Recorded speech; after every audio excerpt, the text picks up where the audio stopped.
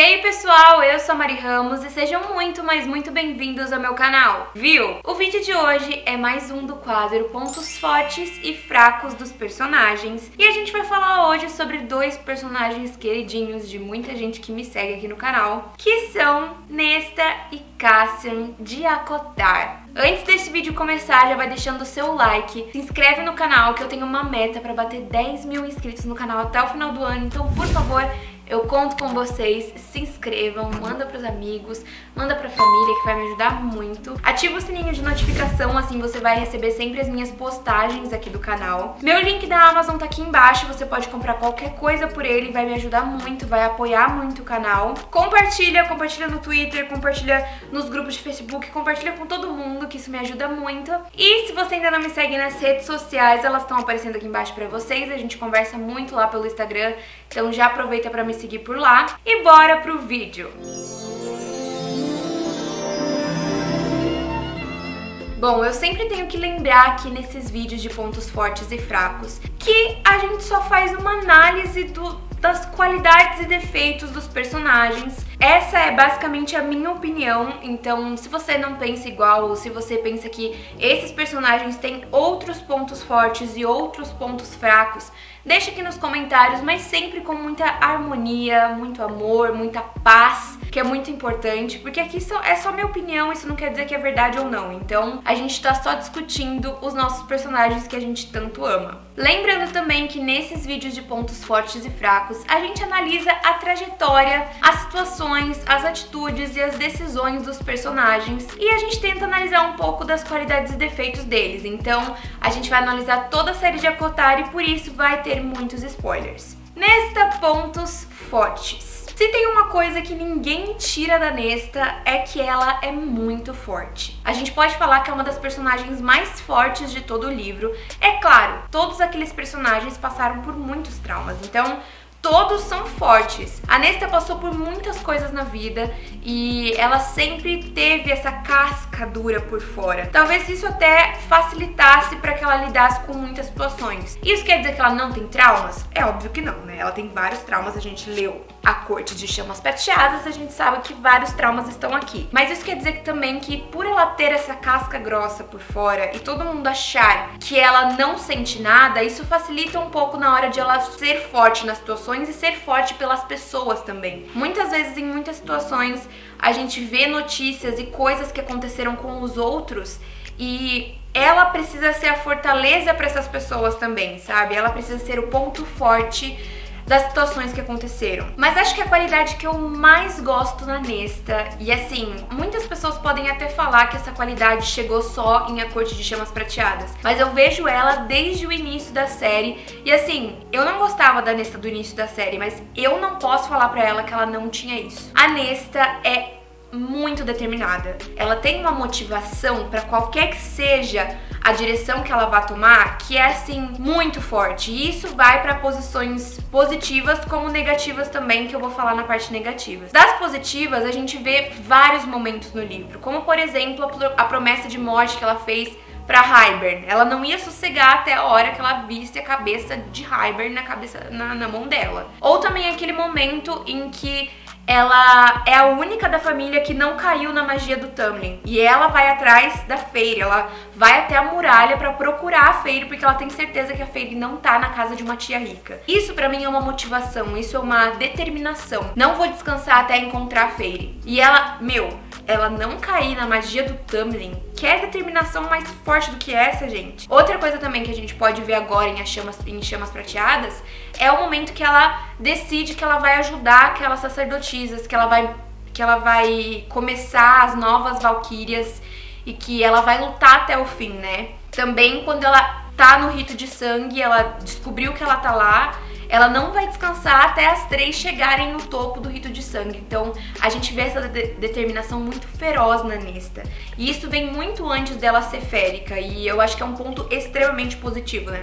Eu acho que outro ponto positivo da Nesta é a maneira como ela decide partilhar os sentimentos dela. Não que isso seja, na verdade, um ponto positivo ou negativo, mas a gente pode considerar ele positivo aqui nesse momento. A Nesta, ela só separa a melhor parte dela para aquelas pessoas que ela mais confia, para as pessoas que ela mais ama. É muito engraçado porque eu vi muita gente comentando isso no outro vídeo que a Sarah J Maas meio que coloca o começo do livro como a Nesta não entendendo como que a Fairy acha o círculo íntimo mais a família do, dela do que a própria família dela, né, de sangue. E aí a gente termina a Corte de Chamas Prateadas com a Nesta achando a Gwen e a Emery mais família dela, e o Cassian, né, mais família dela do que a própria família de sangue dela. E aí ela, a gente percebe que ela conseguiu entender o que aconteceu com a Fairy também.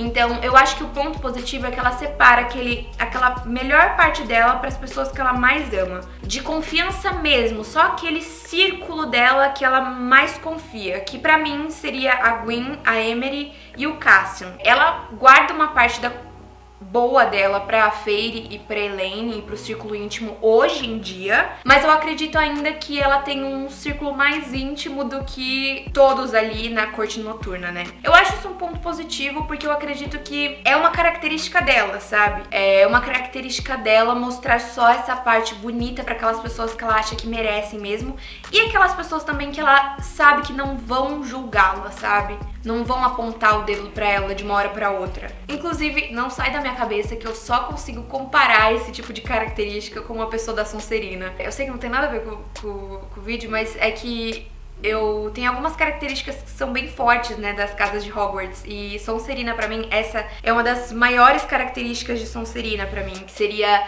realmente guardar a sua melhor pra, parte para aquelas pessoas que você mais confia e não sendo gentil e maravilhoso com todas as pessoas. E outro ponto muito positivo da Nesta é que eu sei que ela faria qualquer coisa pelas pessoas que ela ama. Morreria pelas pessoas que ela ama. Eu acho isso muito nobre da parte dela e muito um ponto assim extremamente positivo. E mesmo que ela não demonstre que ela faria isso, a gente sabe que no fundo ela faria pelo Cassian, pela Fairy, pela Elaine, por qualquer um ali, principalmente mais é, essas pessoas que eu falei, porque hum, a Gwen, a Emery, o Cassian, talvez o Azrael, a Fairy e a Elaine, com certeza. Eu acho que, com certeza, essas pessoas seriam o ápice que ela faria tudo por essas pessoas. E aí, o Rise, a Amren, a Mor, eu acho que já não é tão assim, mas talvez, mas eu acho que ela correria riscos também, sabe? Eu acho que isso é um ponto muito legal, sabe? Ela é seletiva. E isso não tem problema, sabe? Não é um ponto negativo, é um ponto positivo. É como ela escolheu viver a vida dela, sabe? Ponto positivo que hoje em dia eu tô levando muito mais em consideração nas protagonistas que eu vejo é se permitir, sabe? Eu acho que o maior ponto positivo da Nesta é, nesse livro foi a motivação, a determinação, essa coisa de ir mudando, sabe? De ir entendendo e se entendendo e se disponibilizar. Ela se permitiu. Se ela não tivesse se permitido, nada teria mudado. Embora as pessoas tivessem feito aquilo mudar. Mas mesmo se ela continuasse com o mesmo pensamento, ela não ia mudar, sabe? Assim, hoje em dia eu vejo muito mais pontos positivos na Nesta. E embora eu não tenha falado assim vários e vários e vários, eu acho, eu acho que esses são grandiosos, sabe? E aí entram os pontos negativos dela. Que justamente em relação àquela persistência que eu tinha dito no começo, ela já mostrou pra gente que ela consegue levar essa persistência pro lado negativo também. Que é justamente no momento que acaba a guerra e ela decide que ela não quer contato com mais ninguém, que ela não quer sentir que ela pode perder alguém. Então ela se afunda mais e mais, ela só fica com estranhos, ela se afasta de todo mundo, ela fica grossa com todo mundo. Ela realmente o plano dela era afastar todos que ela ama, justamente para que no momento de guerra ela não tivesse essa sensação de que o mundo dela ia desabar, que a vida dela ia acabar depois se alguém morresse, se alguém que ela ama morresse. E uma coisa que eu acho que é um defeito dela desde o começo do livro, um ponto fraco dela, eu acho que é uma coisa mais de ela gostar de ferir os outros. Mas a gente entende que desde o começo do livro ela vem tendo uma atitude meio reativa. Ela fere os outros com palavras para que as pessoas não machuquem ela antes. Então, ela já vai soltando as farpas dela para que ela não se machuque. Então, eu acho isso um ponto muito negativo, porque às vezes ela acaba falando coisas que nem é verdade e que ela sabe que nem é verdade, mas ela fala porque ela sabe que vai ferir o outro, ela sabe que vai machucar o outro. Com Elaine, por exemplo, nesse momento da Corte de Chamas Prateadas, que ela tem a briga com Elaine e ela fala que Elaine foi a culpada da morte do pai delas, mas obviamente não foi, todo mundo sabe que não foi. Mas imagina você ouvir isso. Imagina se isso tá no seu subconsciente e do nada alguém fala isso para você confirmando um pensamento que tava no seu subconsciente. Isso acaba ferindo de qualquer maneira. Então, eu acredito realmente que ela ela sinta essa necessidade, justa, é claro que é uma é uma maneira de se autopreservar, mas é um ponto negativo que a gente não pode deixar de citar nesse momento. Que eu acho, inclusive, que é o ponto que mais acompanha a Nesta em todos esses livros. Ponto mais negativo que aparece dela. Cassian pontos fortes. O Cassian, eu acho que ele é um guerreiro nato. Não só nas batalhas e tudo mais, mas eu acho que na personalidade dele. Porque ele não desiste no primeiro não. A gente vê isso durante várias partes do, do dos livros, não só no relacionamento dele com a Nesta, mas também em relação às batalhas, em relação às missões que eles têm, né, que resolver lá em Prithian. Então eu acredito que o Cassian, ele é persistente também, assim como a Nesta. E é uma coisa assim excepcional, ainda mais num relacionamento com a Nesta nesse tempo que a gente viu nos livros, né? Porque a única coisa que ele precisava fazer era estender a mão para ela, continuar estendendo a mão, que uma hora ela ia pegar a mão dele. E ele foi persistente, ele foi dedicado, ele acreditou que uma hora ela ia fazer isso. E assim, muitas vezes a fé tava acabando, mas ele continuou lá com a mão estendida e no final deu tudo certo, né? Uma outra parte que a gente pode ver essa persistência é, por exemplo, em relação aos ilirianos. A gente é, vê um pouco mais dos ilirianos nesse livro de Chamas Prateadas, mas durante todos os livros a gente vem falando dos ilirianos e como a cultura deles é muito enraizada e como eles demoram para promover mudanças lá naquela, naquele acampamento, né, naquele povo. Então eu acho que com essa persistência do Cassian, do Rising e do Azrael também, mas mais do Cassian que tá lá mais é, presente no dia a dia dos lirianos, eu acho que é super importante essa persistência de você ficar ali, não, vai ter essa mudança mesmo, a gente vai mudar isso, uma hora isso vai mudar. Vamos ficar ali batendo. É igual pedra, calma. Água mole em pedra dura, tanto bate até que fura. É exatamente isso. O Cassian fica lá, nos Ilirianos, só promovendo a mudança e uma hora a mudança vai acontecer. Uma hora aquilo vai acontecer. Só que demora, assim, mil anos, mas acontece.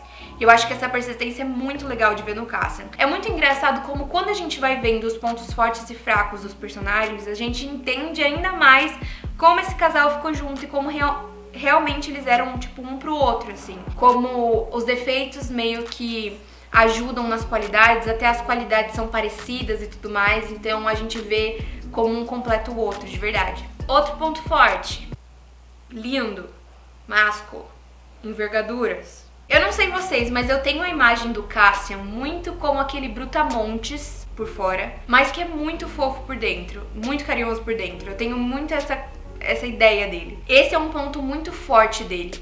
Todas as vezes que a gente vê, até nos livros onde a Fairy e o Rising eram um casal principal, a gente vê muitas vezes o Cassian falando a coisa certa pra aquecer o coração, sabe? Principalmente assim da Fairy e tudo mais, até do Rising, a gente vê ele falando a coisa certa, a coisa que vai aquecer o coração, a coisa que a gente sabe, tipo, vai dar certo, fiquem tranquilos. Então eu acho que ele tem essa essa coisa doce dentro dele que ajuda nas partes é, dos relacionamentos ali dentro do círculo íntimo. Eu acho que o Azrael, ele também faz um pouco disso, ele também fala a coisa certa na hora certa. Mas eu acho que a fala dele vem mais como um elemento surpresa, como um elemento assim, a cereja do bolo, sabe, pra emocionar. Por exemplo, na, no momento que ele dá pra Nesta a lanterninha, né, do...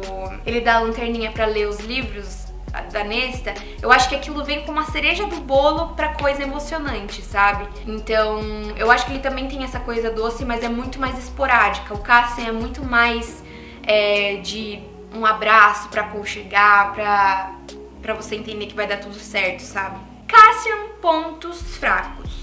Não tem. Aquelas. Eu acho que um ponto negativo do Cassian é que ele não consegue esconder os sentimentos dele. De uma certa maneira, isso é bom porque a gente acredita que ele é bem transparente. Ele realmente fala aquilo que ele pensa e que é difícil para ele mostrar um sentimento que ele não tá sentindo. Mas é ruim em relação aos inimigos, né? Porque sempre que tem alguma coisa que o Cassian fica com ciúmes ou que o Cassian não concorda, ele, é, ele sempre é muito transparente nos sentimentos, na face e tudo mais. Muitas vezes ele parte pra briga porque realmente é o sentimento dele tomando conta, então eu acho que isso é um ponto um pouco negativo se você ver desse jeito, né? Realmente isso não ajuda muito nas partes das relações políticas ali que ele precisava ter. A gente consegue ver bem o porquê eles se completam tanto e porque a história deles teve um final tão bom igual esse que a gente leu, né? Eu quero muito fazer do Rise da Fairy, eu tenho muita coisa pra falar sobre eles, então deixa aqui nos comentários se vocês querem, deixem outros personagens também que vocês querem que eu faça